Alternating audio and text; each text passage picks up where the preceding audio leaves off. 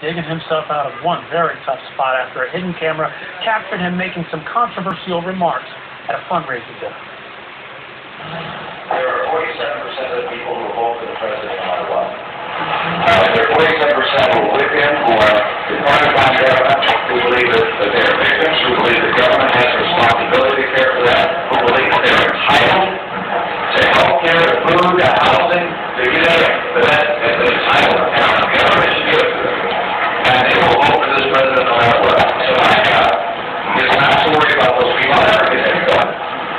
take personal responsibility and care for their lives. What I have to do is get basically five to ten percent in the Senate.